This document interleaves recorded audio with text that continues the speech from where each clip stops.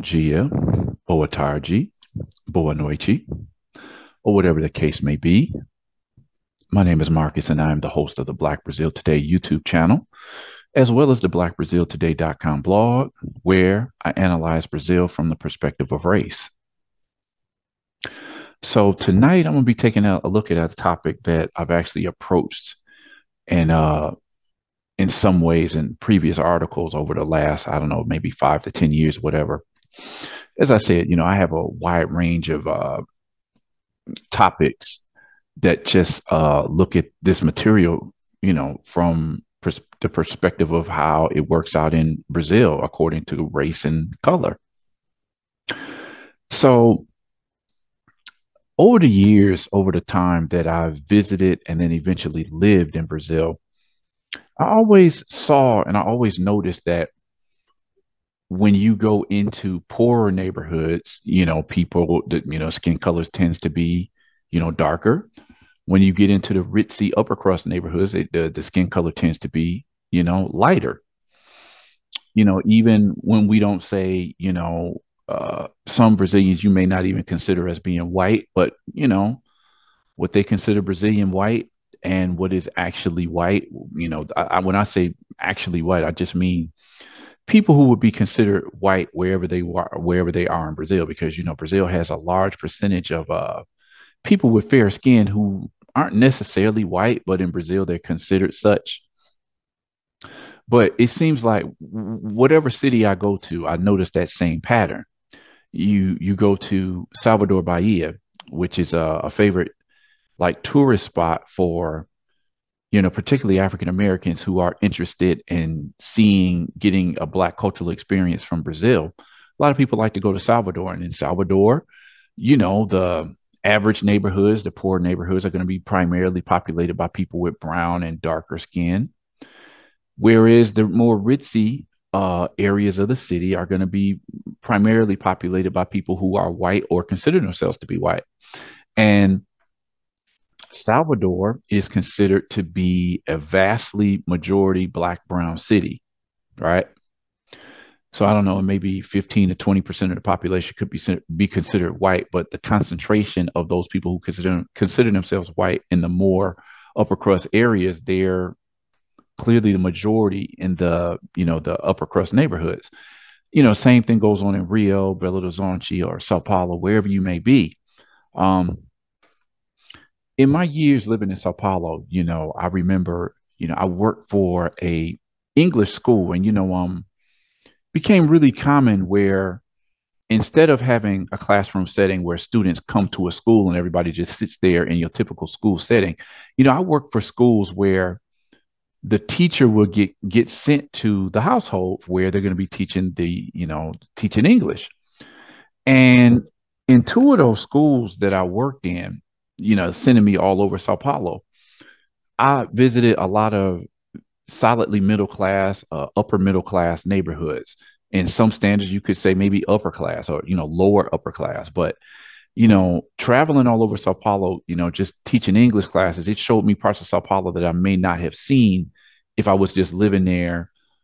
Uh, and I was just, you know, visiting different areas of the city on my own. You know, I saw you go to Sao Paulo. I mean, like I said, I always say it's like the New York of Brazil.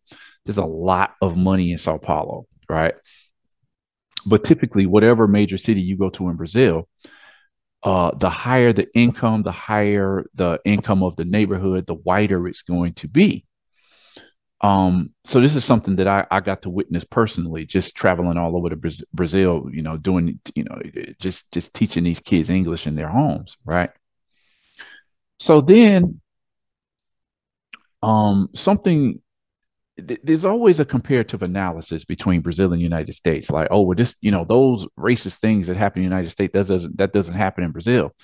But then when you when you put the country under a microscope and look at it from a racial lens, it's like, well, you guys may do things slightly different, but as I've said in a previous video, no matter what topic you look at, you get almost the same results. So there have been se- several studies that have come out over the years that show that even though Brazil cannot be considered anywhere near as segregated as the United States, it does have its own level of uh, we'll say a, a type of uh, racial segregation.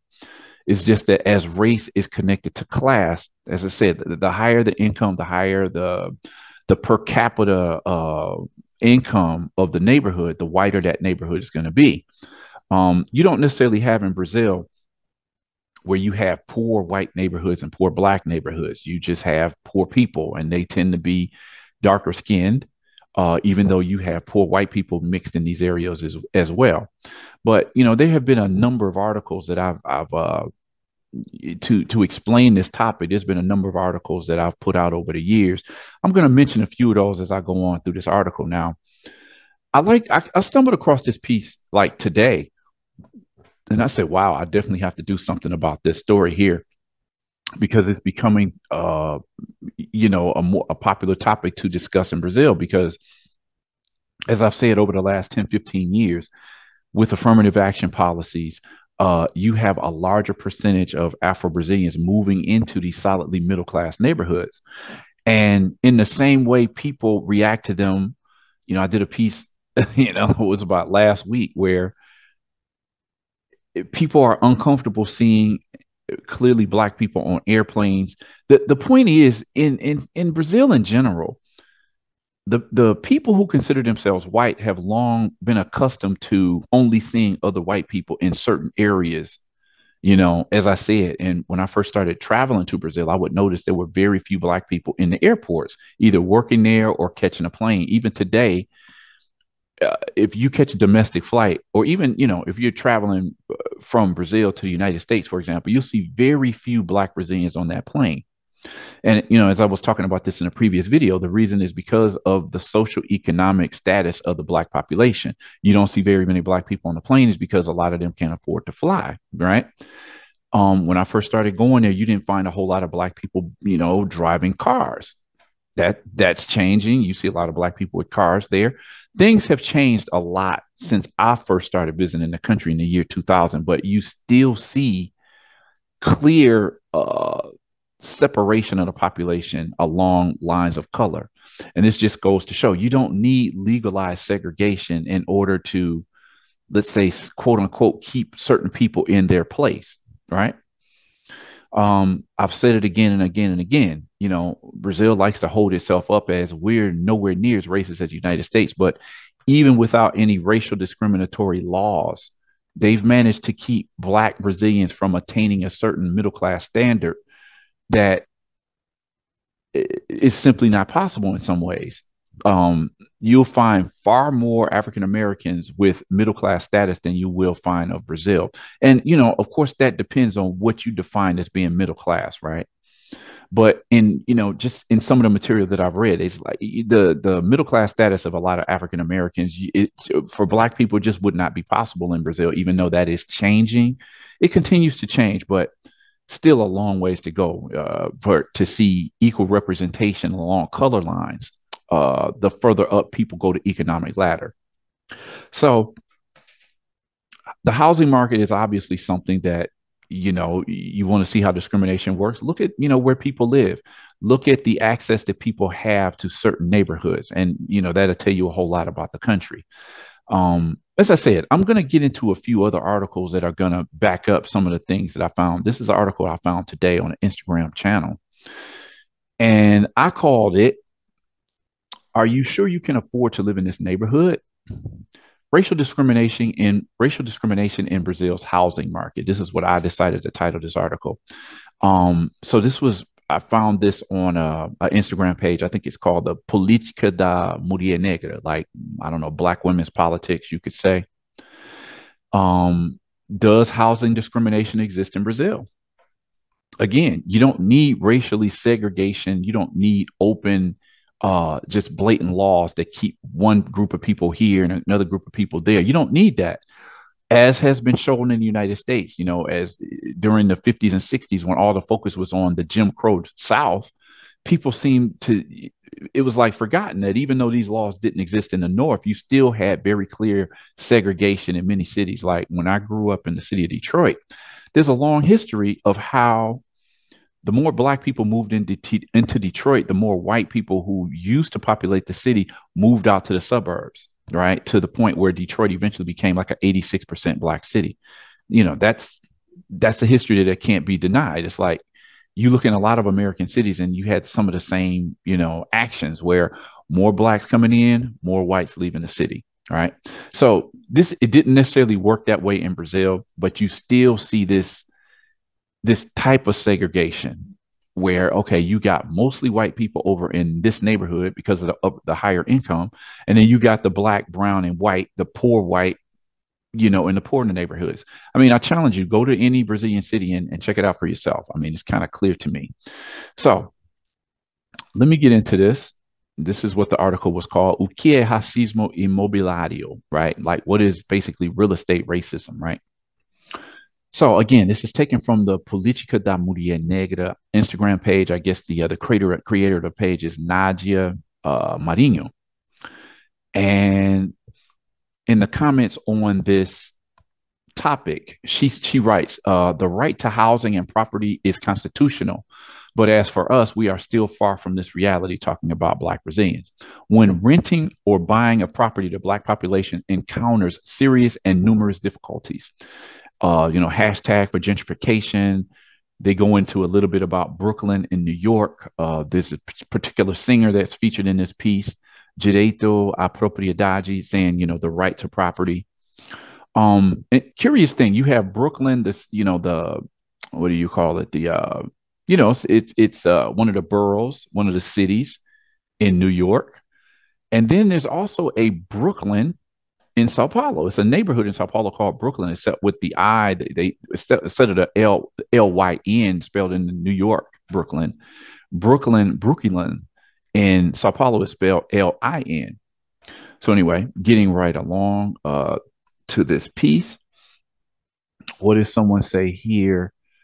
Okay, so Silvia Jacinta o advogado. So this lady is a lawyer. Advogado means lawyer. And she says, uh, This is very clear in the advertisements of the properties. The actors are always white people. It shows that the place is not for blacks. They already make a selection of people around here. This is what she's saying here. So, this is something that I wanted to show just getting into the article uh, as people commented on this piece. Um, let me see advertisements of the properties. So, when I use the keywords Vende Imobiliários, like sell real estate, right? These are some of the pictures that you'll find you know what they're talking about. Basically she's saying that when you look at properties for sale or the advertisements in these real estate agencies they're always going to use like a white family to advertise it you know whatever housing is for sale okay? You have the white real estate agent. For the most part when you just when you look at the advertisements for real estate you're going to see it mostly represented by white real estate agents selling to a you know a white family. It's almost like okay black people don't buy houses in brazil. So you know that's what she's saying here. Let me go back to this article. All right let me see here uh, okay so the next one says another point is that the number of black agents black real estate agents is low. Historically the stimulus emanating is that property is not our right. So then again when you look at the image of what a real estate agent is supposed to look like in Brazil, or mm, arguably, as she just said, you know, there are very few Afro Brazilian real estate agents. So when you get images of real estate agents in Brazil, this is what you get. You know, what did I say here? Corretor de imóveis, you know, basically a real estate agent. So these are what the real estate agents look like in terms of what the advertisements look like. So when you look at this, what image do you get in terms of who's going to sell you a house? Okay, uh, how did Chito Cartier did you go? Okay, so you got a black woman represented here, but you know how far down did you got to go before you see a black face in these images in terms of you know people you know talking about the real estate business, whether they're real estate agents or they're selling homes. You know, what are the people supposed to look like that are buying these homes? And that's that's that's the two points that these these commenters made on this particular article. Okay let's see here. Okay, so what is real estate racism? So this is somebody talking, Amanda Santos. She says, talking to an agent, he said my income wouldn't be sufficient for where I wanted to live. Detail, I did not show him my income. So he just assumed because she was black that she couldn't afford to buy a certain house in a particular neighborhood. Okay. Okay, these are some comments made. I'm going to talk a few a little bit about these comments here and then what was written here. Let me just keep going. So, Gabi Oliveira is a popular YouTuber.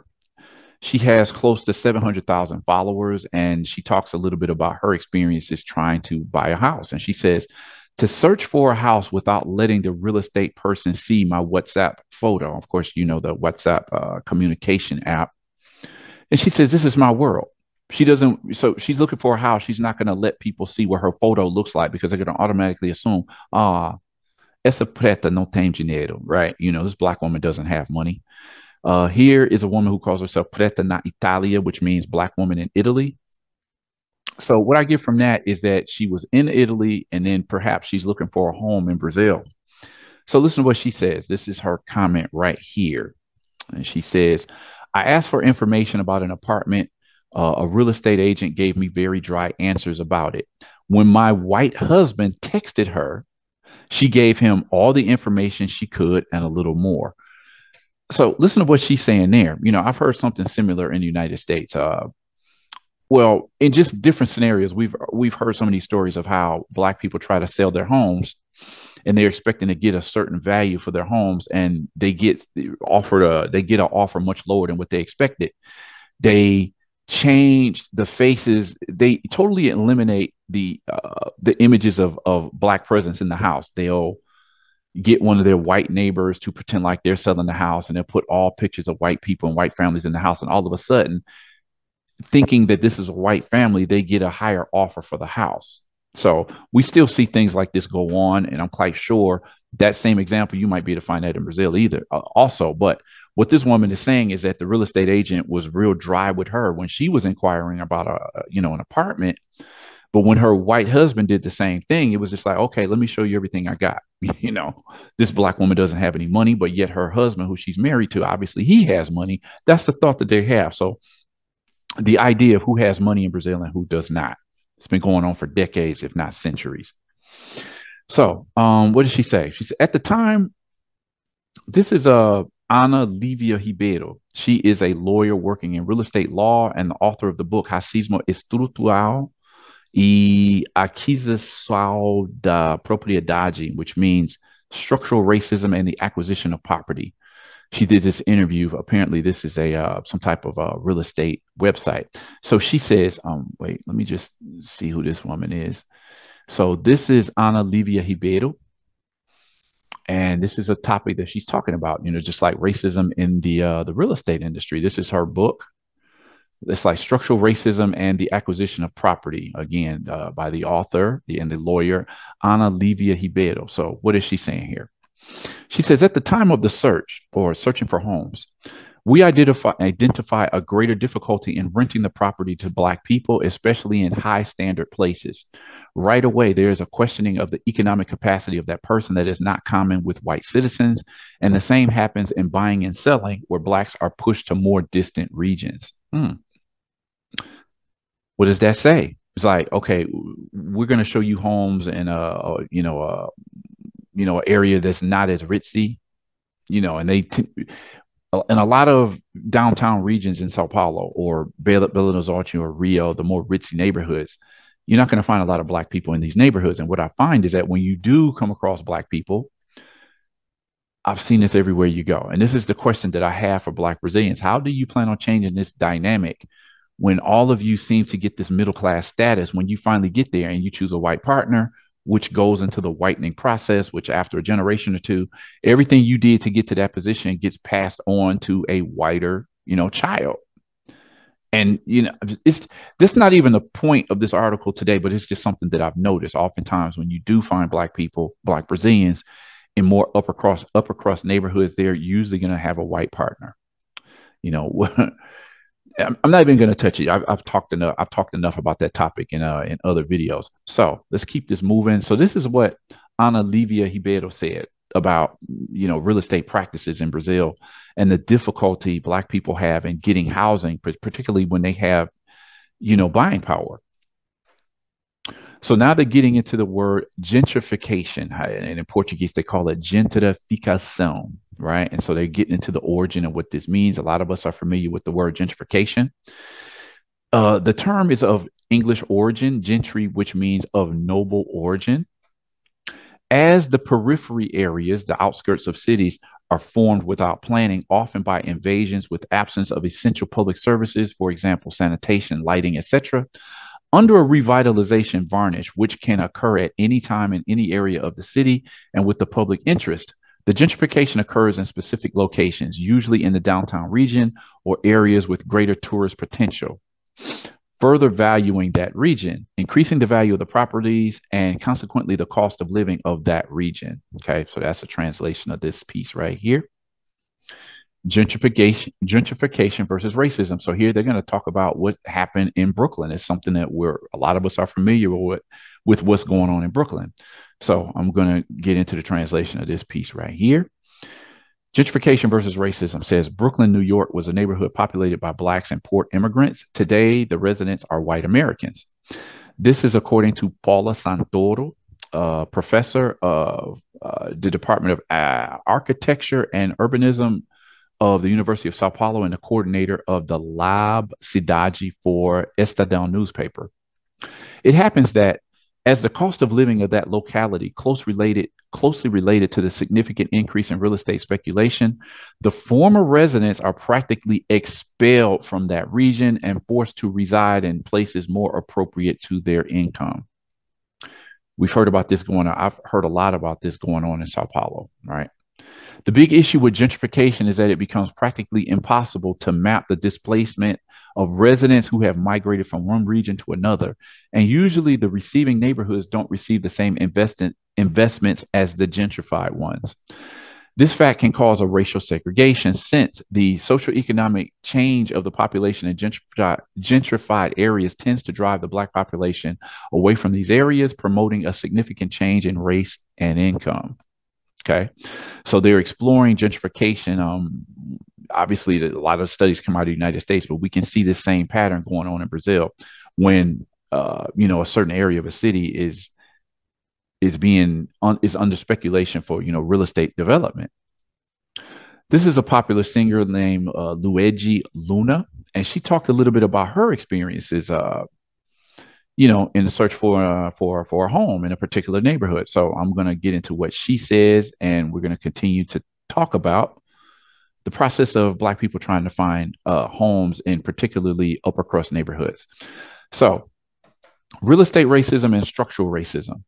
Oh, say so. Uh, Luedji Luna, she actually um she's been a she's been a popular singer out of uh, Bahia for I don't know how long she's been in the public, maybe five or six years.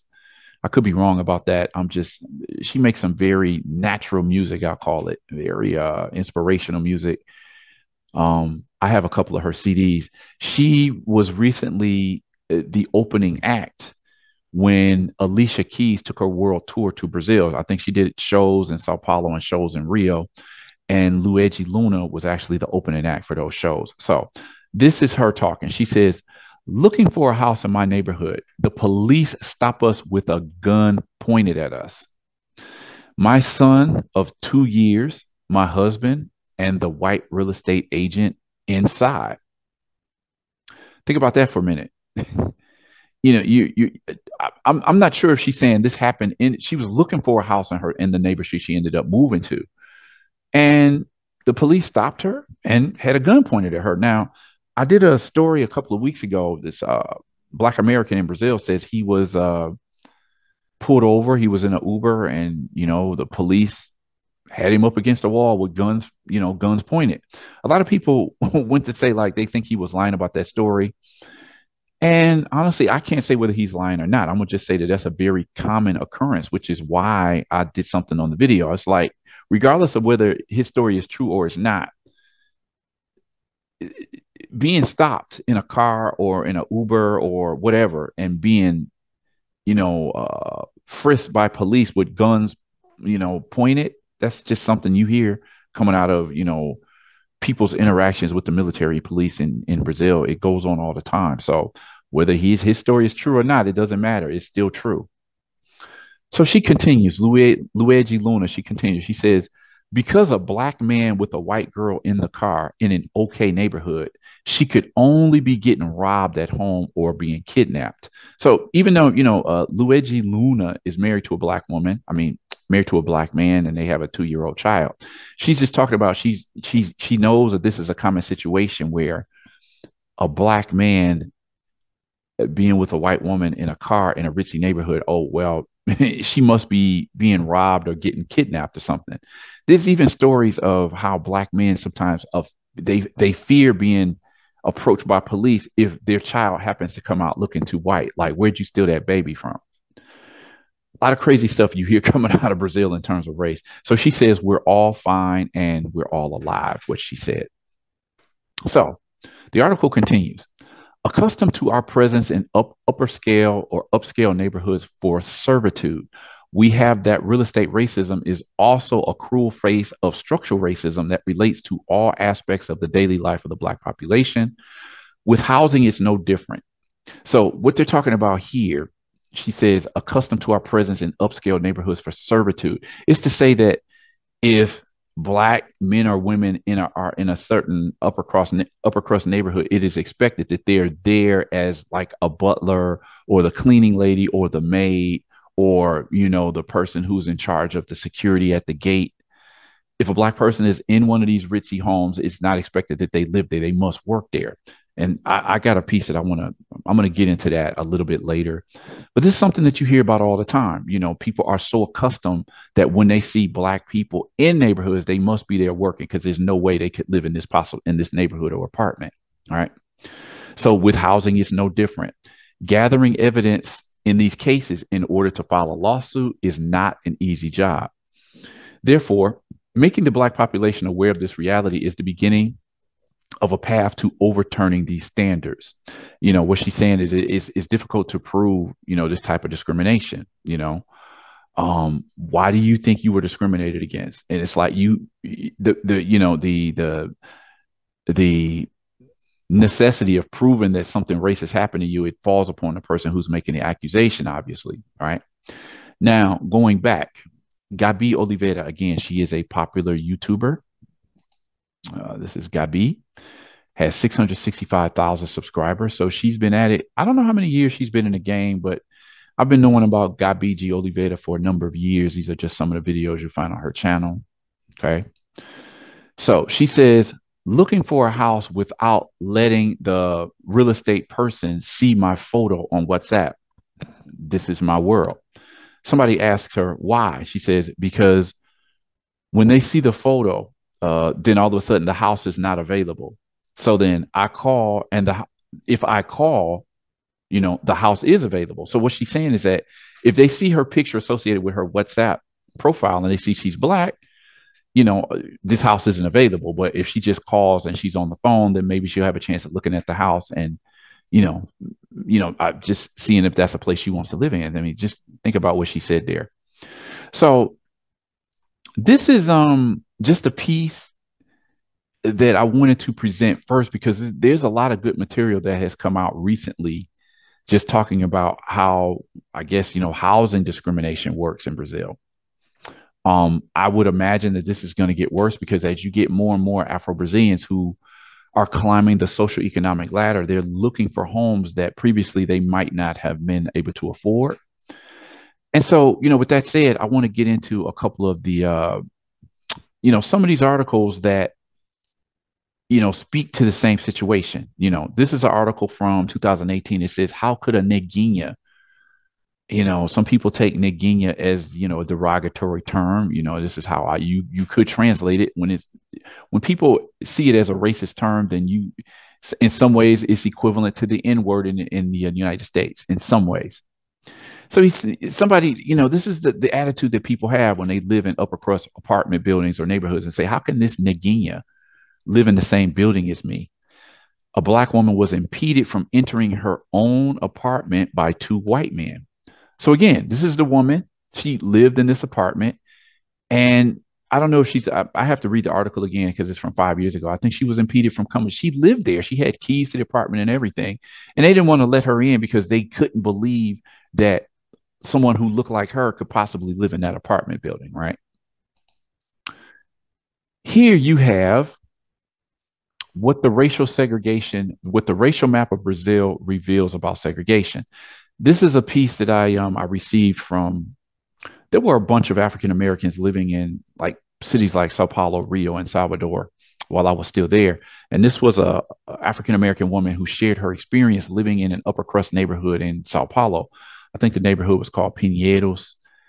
And she talked a little bit about her experience, how, you know, living in this apartment. I forgot, I forgot what, I don't know if she was in education. I can't forget, remember what area, what type of work she was doing, but she was living in Pinheiros and she was like, just the apartment that she lived in, it was just very few black people in that apartment. I have other African Americans who have talked about their experiences living in these ritzy neighborhoods and being one, like one of the very few black people living in the apartment building, right?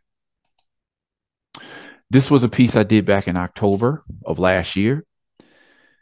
Uh, wow, it's hard to believe that this, this, wow, this is already like, I don't know, maybe seven months ago and this, yeah, I already did a video on this. It says "Get Out, Monkey." In Sao Paulo, the comedian musician Eddy Jr. leaves his apartment after racist attack. The incident triggers protest in front of his apartment building. So he was basically harassed by this woman over here who didn't like seeing him live there. So this is what I'm saying. It's like he has the economic means to live in this apartment, and still there's people who are uncomfortable with his presence in the building. You know, there was if, if you if you saw this video that I did, it was some months ago, and it was just like, okay, this woman and her and her son came to his apartment building. The guy actually had, I think he had either a broken bottle or a knife in his hand, waiting for this for the comedian to come outside. So you know, yeah, you know, it's United States. That's the real racist country. But it's like, how does this how does this type of thing happen? You know, he's obviously a person of means or he wouldn't be in that apartment building. You know, he's a comedian and a musician, so obviously he earns enough money to live in that apartment, but some people were uncomfortable with their presence. And this is what I'm saying. The videos I've done in the past show these are primarily historically these have been areas and and you know, parts of society where people only expect to see other white people living there or taking planes or driving fancy cars. So then when you see a black guy come along that has access to some of these same things, it's like, what is this dude doing here? What is this woman doing here? You know, go back to the favela where you belong, you know, favelas being the uh, you know, the low low income uh we can say uh shanty towns you call them as people translate it, but these are favelas and so it's an assumption that a black person is automatically supposed to be from a favela, even if they are or they're not, right? Okay, outlining for death, white, black areas, and redlining of Brazilian cities. Again, the racial segregation in Brazil doesn't compare to how you have black and white neighborhoods in the United States or Latino neighborhoods in that same way. But it is, it can be studied. And Brazil does have a certain level of segregation in the cities according to race, right? This is an intriguing photo here. Not even going to get into it. I mean, uh, yeah, I think this the picture says it all. This is um, I said this earlier today. It's like you get pulled over by some police, and the guns are already pointed at you. So common occurrence. So whether the guy whose video I talked about a couple weeks ago, whether he told the truth or he didn't, this is something that happens all the time in Brazil. So it doesn't really matter if he told the truth or he didn't. This is um, let me see, I forget what year this video is from, but um, there was a, a, a satire video that was posted on YouTube, and what it is is that when let's say a, a, you know a vendor or a seller or you know insurance agent or whatever somebody goes to a certain neighborhood in brazil and if a black woman opens the door, it's automatically assumed that she must be the maid because how can this black woman live in this nice house? So it says, you know, if, if it's a black woman opening the door, she must be the maid if they're in a, you know, uh, you know, a middle class neighborhood. You know, lady opens the door, says, you know, may I speak to the lady of the house? The video satirizes Brazil's belief, Brazil's belief that a black woman in a middle class home must be a maid or a cleaning lady. So this was a pretty cool video. This and this was a cartoon, if I'm not mistaken. This is from um uh I forget the guy's name. He was uh he's a real popular artist who uh, Mauricio Pestana.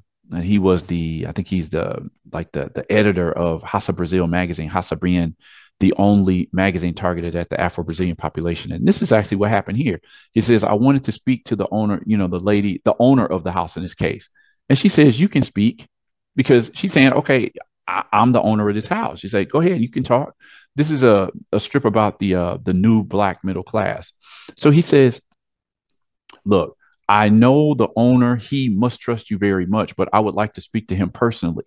You know, so look at her face. It's she's obviously not too happy with he just automatically assumed that because she's black, she can't be the owner of this house. And this is something that you get with how black people are treated in Brazil, just constantly treated as you know second class citizens. How can this black woman be the owner of this house? So this is what this video is all about here. This is a video, and the woman, you know, the woman passes out because she's shocked when she comes to realize that this is really the owner of the home, right? So this is um just a little overview of how housing discrimination works in Brazil, whether it's coming from the real estate industry or it's in the attitudes of the people who live in certain neighborhoods and how they're treated, uh, how people perceive their social economic status just because they're black. So this is an introductory art- article. I'm definitely going to have to do some other, uh, you know, connected articles about this because this is a topic. Now, like I said, no matter what area you look at in Brazil, you're going to come across this certain discomfort that people have with seeing black people in certain places, right? So, with that said, I'm going to, you know, wrap up this video. Um, if you like this video, I'm curious to know what your thoughts are. Drop a comment in the comment section. You know, like this video, share this video. Uh, consider subscribing if you've watched more than a couple of videos that you like on this channel. Click on that notification bell so you'll get new videos as I post them. And with that said, I'm going to end the video here and I uh, hope you come to check out my next video.